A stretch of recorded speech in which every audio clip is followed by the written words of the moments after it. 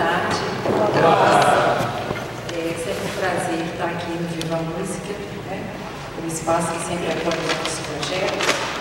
E hoje a gente tem uma alegria especial, porque a palestra e o conceito de hoje dão início ao primeiro encontro internacional de piano contemporâneo de Belo Horizonte. É, esse evento, que começa hoje, vai interunir vários pontos da cidade, tem uma parceria a Escola de Música da UFMG, a Escola de Música da UENF, o Conservatório UFMG e a Fundação de Educação Artística. Bom, o título dessa palestra, O Piano na Música Brasileira Contemporânea, já indica um dos enfoques desse nosso encontro, que é justamente a criação brasileira atual para o nosso instrumento. Algumas questões nos inquietam motivam para criar um evento dessa natureza. Em que medida a produção atual da música brasileira para o piano pode ser vista como parte de um ethos e, portanto, distinta da produção de outras culturas? Será que realmente existe isso? Quer dizer, será que a música que se produz no Brasil atual ela tem características próprias, marcantes, que a definem em relação a outras culturas? Quais as questões interpretativas, ou mesmo as tensões criativas, que os compositores brasileiros têm oferecido aos seus intérpretes, no caso, pianistas? Qual o nosso papel, enquanto intérpretes, na história ou na construção da história da música brasileira? Qual o nosso papel é, enquanto intérprete nessa construção? E por que conhecemos tão pouco a música do nosso tempo? Obviamente não temos espaço aqui para responder ou tentar responder todas essas questões, né? mas é importante pensar sobre elas. Mas aqui agora, nessa minha pequena introdução, eu gostaria de refletir sobre alguns desafios que as obras contemporâneas impõe a nós intérpretes, a nós ouvintes. Não há dúvida que a música de hoje exige um outro tipo de sensibilidade e uma escuta muito mais ativa e reflexiva, se comparada à música tradicional. Como alertou, como já reivindicou o nosso poeta concretista Augusto de Campos em seu livro Música de Invenção, abre aspas, já é tempo de dar um tempo aos colchões sonoros da, da música palatável e aprender a ouvir aquela outra música, a música pensamento, dos grandes mestres e inventores, que impõe uma outra escuta, onde a reflexão, a concentração, a sensibilidade e a inteligência são ativadas ao extremo. Nada pode substituir a exemplaridade da aventura ética e estética dos grandes inventores da música contemporânea. Os santos e os mártires da nova linguagem. Aqueles que enfrentaram preconceitos e perseguições, e às vezes até a pobreza material e a humilhação, para alargar o horizonte de nossa sensibilidade e levar a indagação musical aos seus últimos limites. Fecha as aspas. Bom, a exemplo da escuta, ele está aqui falando exatamente dessa sensibilidade, dessa nova sensibilidade que se, que se é convidado né, ao escutar música contemporânea, mas os desafios que ela nos coloca, que coloca aos intérpretes, são inúmeros, que vai desde a ausência de uma tradição que nos guie, passando pelo entendimento, por exemplo, da decifração, da notação musical, até a aquisição de novas atitudes técnicas no instrumento. Além do mais, com exceção das grandes obras do século XX e XXI, quase não dispomos de gravações que nos sirvam de referência para certas decisões interpretativas. Isso quando não somos nós a referência, nos tornamos a referência, porque na maioria das vezes estamos fazendo primeiras audições né, das obras. Então, diferentemente da música tradicional, que vem né, da tradição clássica romântica, você tem uma tradição que nos guia. Você tem um repertório já registrado. A música contemporânea não. É sempre uma aventura, cada peça que, nos dispomos a fazer. É, há um, um compositor português, José Júlio Lopes, que ele diz a, a, a esse respeito, abre aspas, uma das mais importantes alterações que surgiu com a nova música situa-se exatamente ao nível da sua escrita. Novos sistemas de notação foram criados para corresponder às novas necessidades expressivas, aos novos materiais sonoros e às novas lógicas e disposições das obras. Olhar para uma partitura de música contemporânea passou a ser um exercício de decifração inevitável para os próprios músicos, pois a destruição do velho sistema de notação não deu lugar a outra escrita igualmente universal, decodificável e legível. Pelo contrário, pulverizaram seus processos e multiplicaram suas formas. Como grande consequência dessas transformações, todo um único modelo de escrita foi substituído por uma pluralidade de outros, todos eles possíveis e viáveis. Se vocês repararem, nós temos aqui um cenário com várias estantes, com várias partituras é, de música contemporânea, para quem depois quiser dar uma olhadinha. Porque, na verdade, quando ele está dizendo isso aqui, diferentemente da música que vem da tradição, a música tonal, onde a gente tem formas definidas, né? até mesmo a narratividade tonal, que é muito clara, quer dizer, tem, uh, você tem tensões e distensões, você tem expectativas e resoluções dentro do discurso tonal. Na música contemporânea, isso, quer dizer, isso é rompido, isso é quebrado. Sem contar que compositor acaba criando a sua própria linguagem, o seu próprio idioma e por muitas vezes a sua própria grafia. Então, é isso que talvez ainda não tenhamos essa tradição já se consolidou na música tradicional. Mas é claro, não se trata apenas de decifrar uma partitura, trata-se de gerar significado de produzir sentidos a partir do material proposto. Surgem, portanto, novos símbolos como alternativa à escrita tradicional, em particular como consequência da inclusão de novos sons na linguagem musical. É óbvio, a partitura nada mais é do que a tentativa de registrar o, a música, o som, né, o gesto musical. Então, nessa perspectiva, podemos dizer que os novos tipos de notação, criadas para expressar novas estéticas, implicam muitas vezes em atitudes técnicas não usuais, ou, para usar um termo mais atual, em técnicas instrumentais expandidas. E vocês vão ver hoje no conceito de hoje muitas dessas técnicas sendo apresentadas aqui, essas que a gente chama de técnicas estendidas ou de técnicas expandidas. O sistema tonal e sua lógica narrativa impuseram modos concretos e estilos de interpretação que na música contemporânea revelam-se por vezes desajustados, visto que a expressão gestual, o trabalho motor e o esforço interpretativo dos intérpretes não estão na mesma lógica. Os modos tradicionais de tocar uma nota, por exemplo, no contexto tonal, não funcionam na mesma lógica num contexto, por exemplo, serial ou decafônico tonal, onde as relações entre as notas são estruturadas a partir de uma outra lógica composicional. Podemos supor que a realização de um fraseado no repertório tonal é substancialmente diferente do fraseado de uma música, onde as relações intervalares estão espacializadas pelos registros, como por exemplo no caso da música serial, abstendo-se de uma condução linear ou discursiva dos sons. A cada nova obra, somos expostos a um universo de possibilidades e, consequentemente, a tomada de decisões interpretativas, muitas das vezes inusuais da prática tradicional. Completando o rol das perguntas que estão na base deste nosso primeiro encontro, e tendo em vista esses desafios que eu aqui sumariamente, muito sumariamente falei, surge então uma última questão.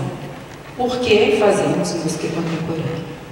Quer dizer, se é tão difícil assim, se é a partitura você tem que decifrar, se você não tem uma tradição que nos guie, se, você, se existe uma escuta é, ativa, por que, que a gente toca música contemporânea? Para quê? Ficar quietinha, né? pelas mesmas razões que todos os intérpretes de todas as épocas tocavam música de. A nossa época é a única época que não faz, que não toca música do nosso tempo. No barroco, os, os intérpretes tocavam música do seu tempo. No classicismo, até metade do romantismo, não é? Então, nós, como intérpretes de música contemporânea, fazemos o que os músicos do passado faziam, que é tocar músicas presentes. Passa agora a palavra para a Alice, que ela vai continuar com uma outra perspectiva. Boa tarde a todos.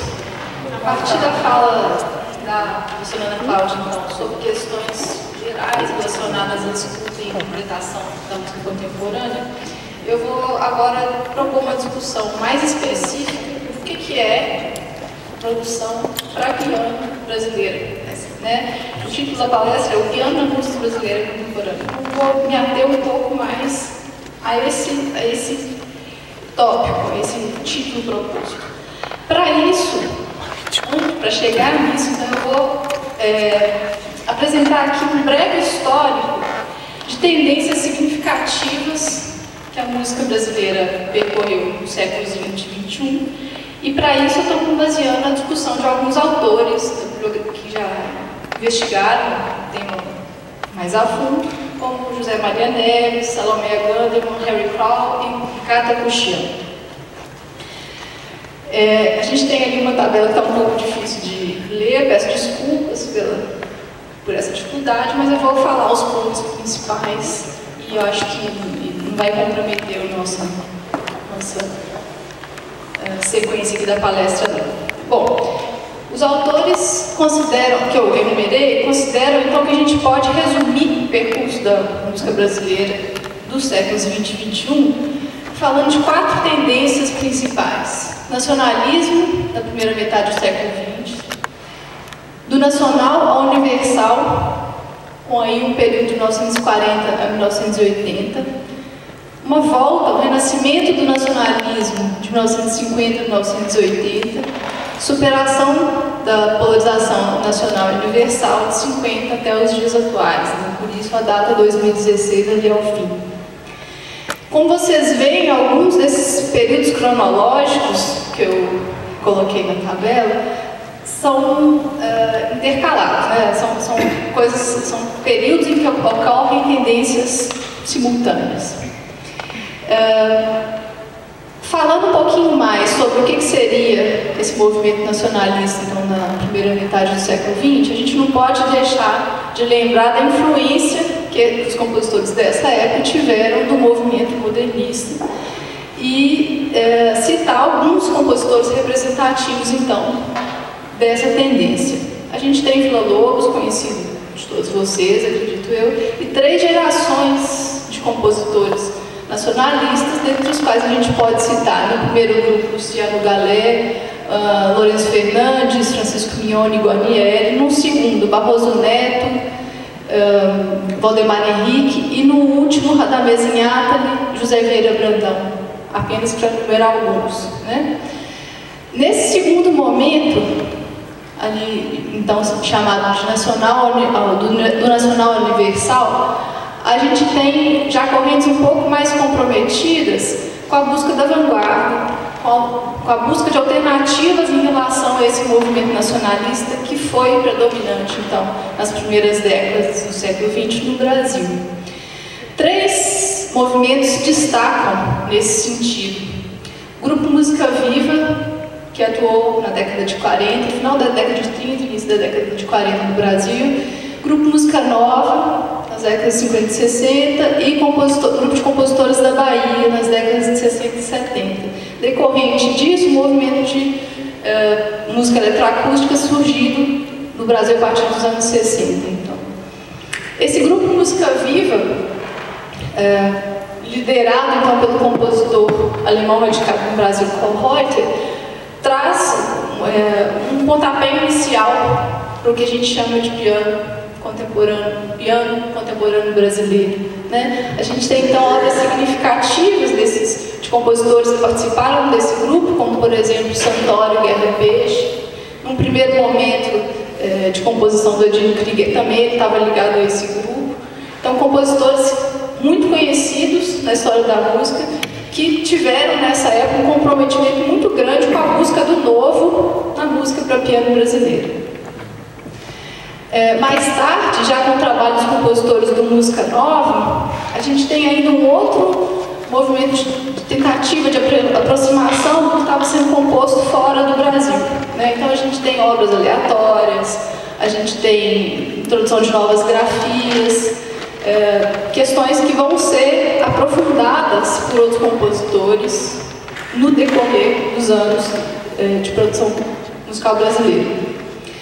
A gente também não pode deixar de mencionar os compositores da Bahia que contribuem imensamente nesses aspectos que eu acabei de mencionar e também na introdução de técnicas estendidas no, no, no, no piano né, e em diversos outros instrumentos uh, e expansão da organização de alturas, do trabalho de métrico, entre outros recursos.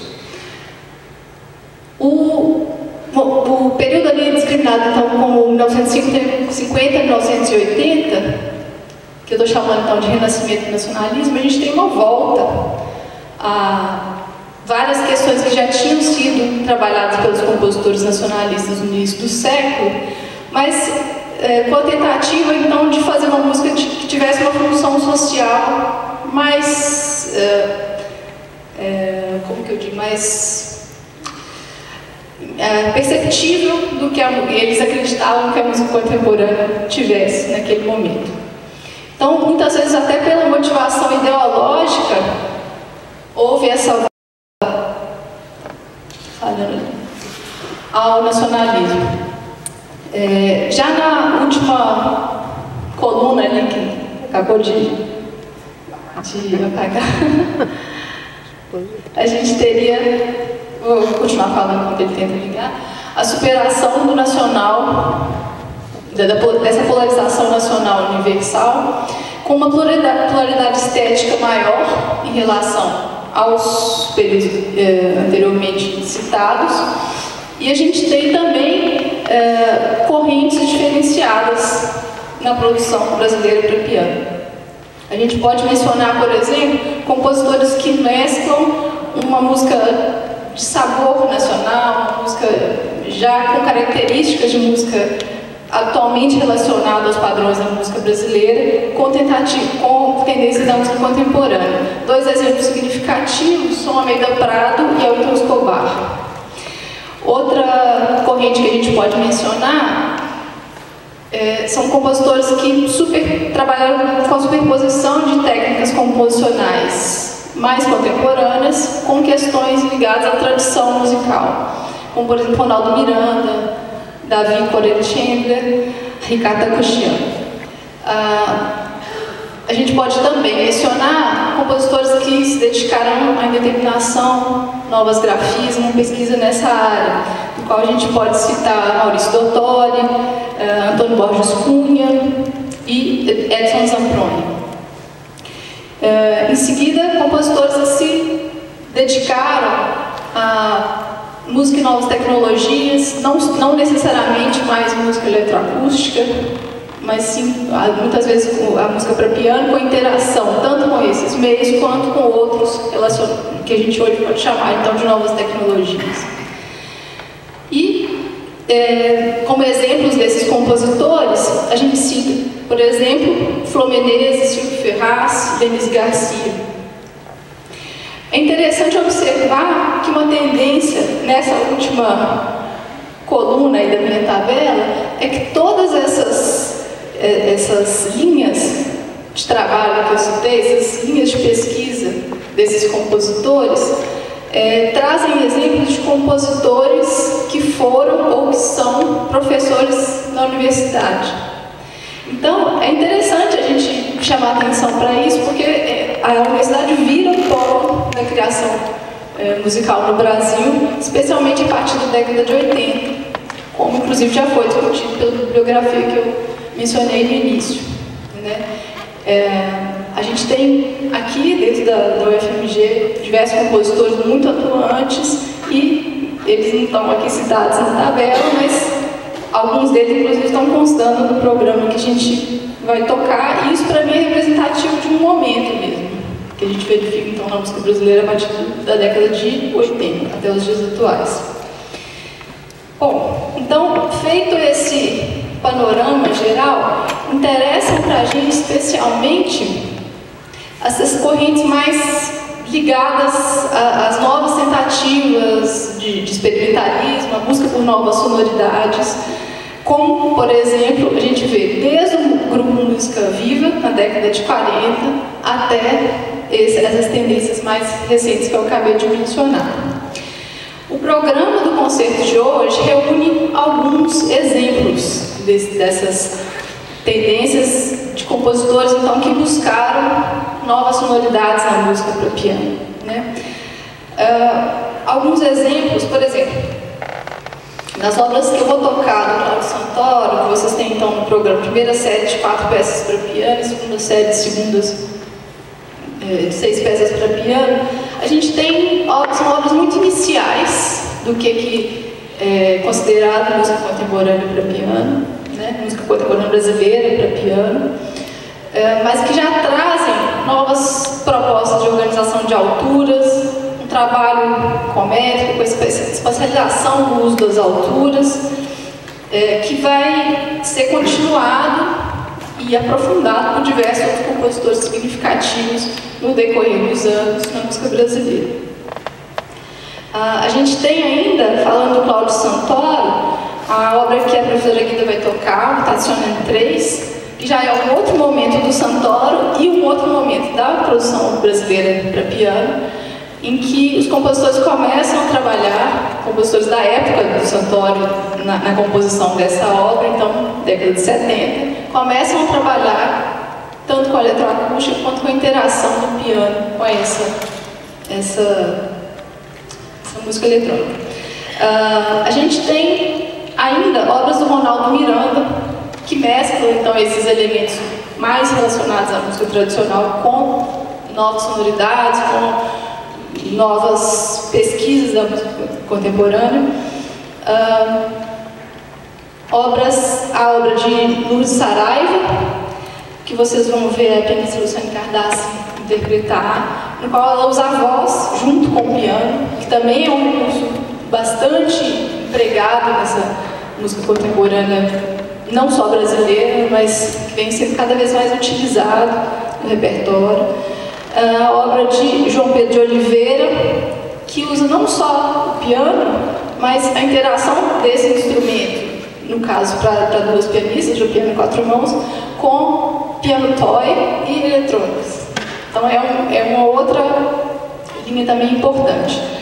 É, a obra de Rogério Vasconcelos, Fluxo de Declinação, que eu vou tocar, também então representativa dessa produção dentro da universidade, né? Acho que eu não esqueci de ninguém não. Bom, e para fechar então, eu, além de enumerar essas tendências, gostaria de abrir para perguntas. Uh, discussões sobre as temáticas que a gente apresentou. Por favor, à vontade.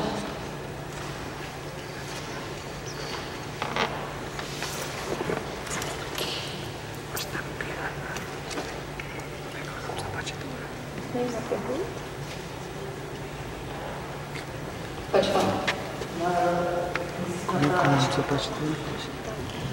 Ah, se tratando das obras uh, contemporâneas, e como a Ana falou mais cedo, que existe uma pluralidade de escritas e de sistemas que eles funcionam por si só, eu queria que você, ou a Ana, ou alguma de vós duas, talvez falasse um pouquinho sobre como é a interação com esses compositores e, quais são os processos que vocês costumam ter quando vocês pegam uma partitura com um sistema novo e, como é que funciona essa exploração?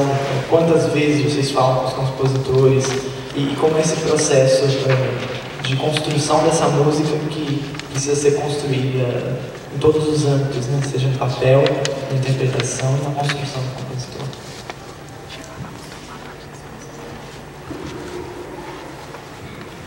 Bom, para mim é sempre um desafio, sempre uma novidade.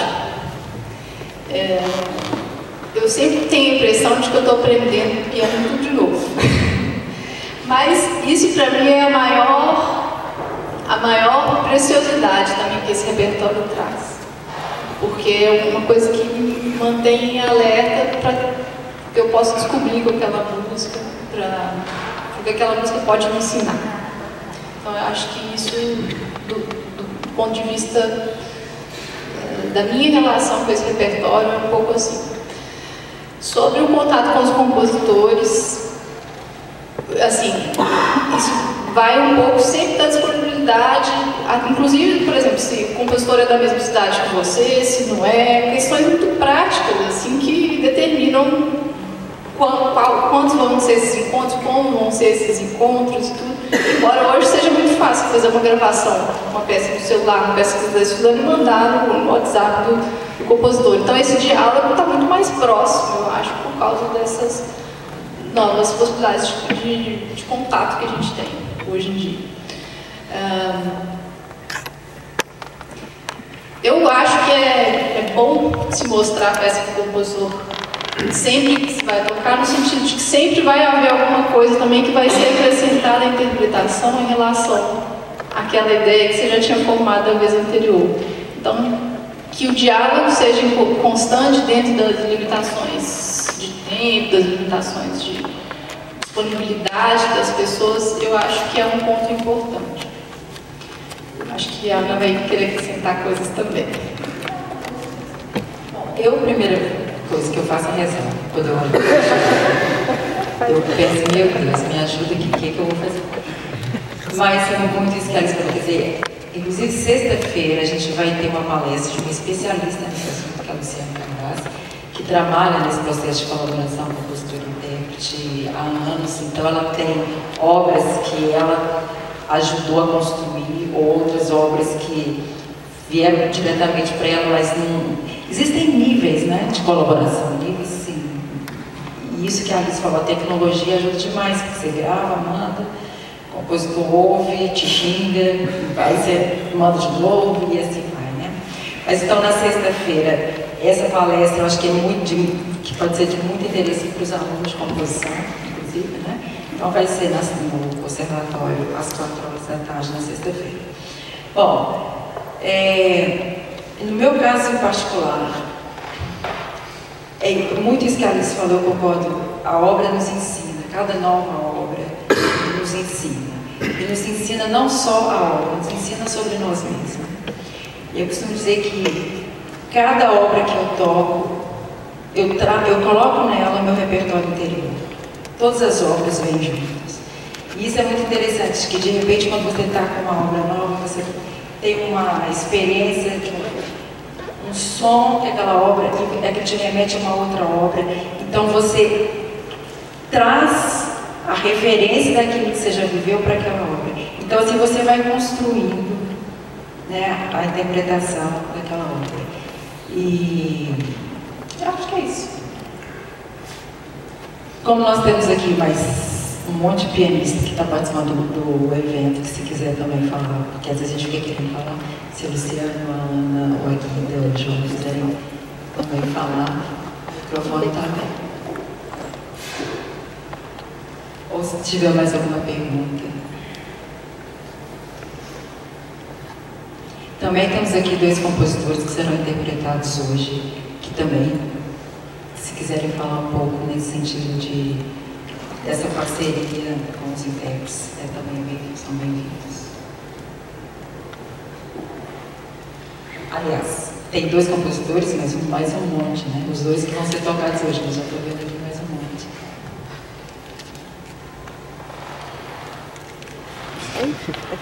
Eu posso dizer qualquer coisa que tem que ver, tem que ver com a questão uh, do piano como instrumento, mas como instrumento que se alargou ou seja, o paradigma do piano ser tocado só nas teclas uh, é, um, é um, um paradigma que ainda está presente, mas que uh, já foi, de certa maneira, expandido através das técnicas de expansão.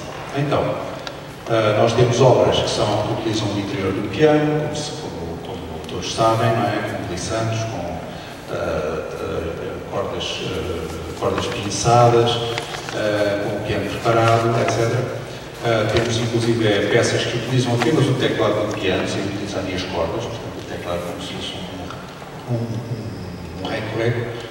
E então, dentro disso tudo, quer dizer, toda esta novidade de efeitos e de, digamos, de formas de manipulação do instrumento requerem uma certa perícia por parte do instrumentista, ou seja, o compositor tem que ter sempre em atenção qual é a capacidade física que o instrumentista vai ter para executar certo tipo de efeitos, ou seja, não vale a pena estar a fazer um efeito aqui, um efeito ali e outro ali, a certa altura o instrumentista se equilibra se? Portanto, uh, há, há, limites, portanto, e muitas vezes o, o compositor, se porventura ele toca piano, ele, ele, próprio pode fazer o teste se esses limites são ou não são, uh, digamos, o que ele propõe está dentro do execuível para o instrumentista.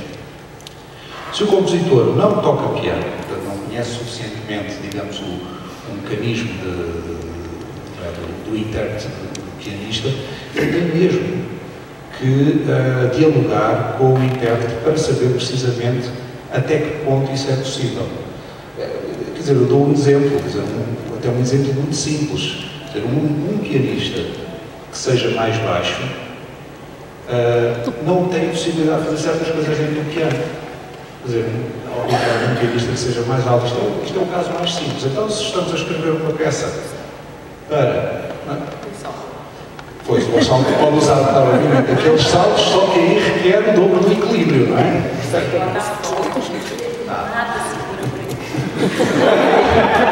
Uma técnica tem isso. Bom, estás a interpretar que é uma mulher, se for um homem?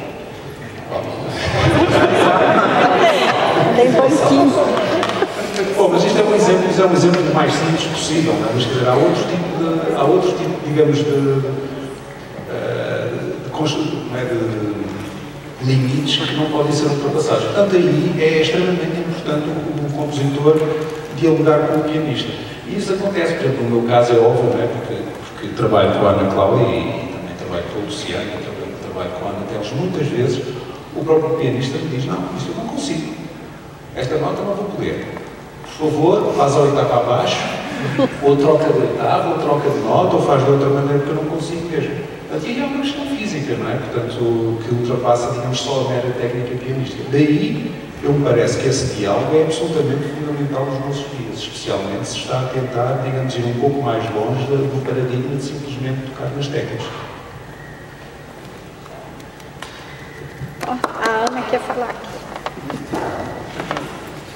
Acho que não vai. Chega, não. Ai, chega, vai falar.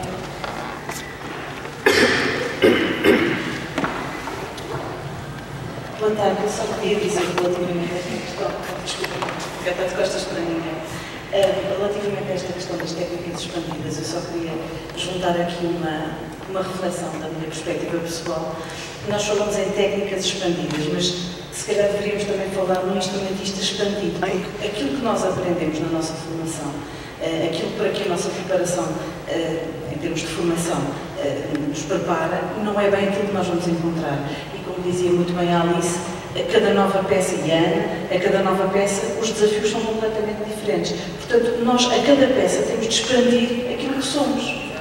Portanto, cada nova peça é um desafio. Isto, para mim, é uma mais-valia extraordinária. É uma das razões pelas quais eu adoro fazer música do nosso tempo.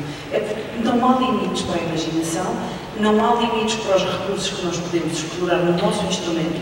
Enfim, o nosso instrumento é tão rico e tem uma, um repertório tão conhecido e tão variado quase que parece impossível, mas não é. Nós estamos sempre a aprender. E para mim isso é uma mais-valia. Nós temos de ser percussionistas, temos de ter um espírito aberto. São, são tudo coisas que nós, no fundo, se formos pensar nelas um ponto de vista um bocadinho filosófico, é uma aprendizagem mais do que musical, é uma aprendizagem para a vida.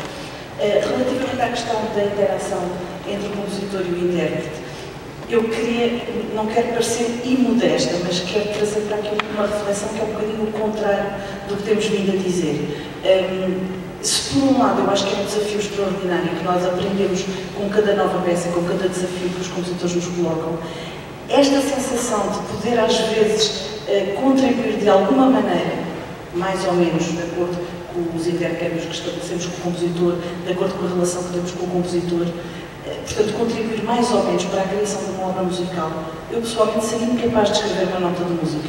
Posso ter muitas qualidades musicais, mas não sou compositor de todo. E, no entanto, às vezes tenho a sensação de poder participar um pouco deste processo, de, de estar em simbiose com alguém que sabe fazer isso. E, de alguma maneira, trazer uma pequenina pedrinha, por modesta que ela seja, a esse edifício. E lá está, para mim é outro dos privilégios de lidar com esta música. E depois o privilégio de lidar com pessoas assim. João Pedro e outros tantos. Eh, alguns compositores brasileiros também, já tive a ocasião de contactar. Pronto, só isto que eu queria acrescentar e claro que concordo com tudo o que foi dito antes. Bom, a Ana acabou de chegar de Lisboa, então vocês viram que ela já chegou bem inspirada. E ela vai ter uma participação maravilhosa nesse encontro, não perca.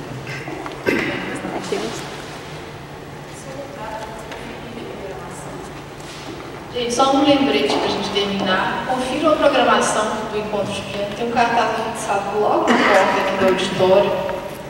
Vai ter atividades, como a gente falou no início, tanto aqui na escola, quanto no Conservatório FMG, na Escola de Música da UEM e na Fundação de Educação Artística. Tem concerto, tem masterclass, voltado para compositor, voltado para intérprete.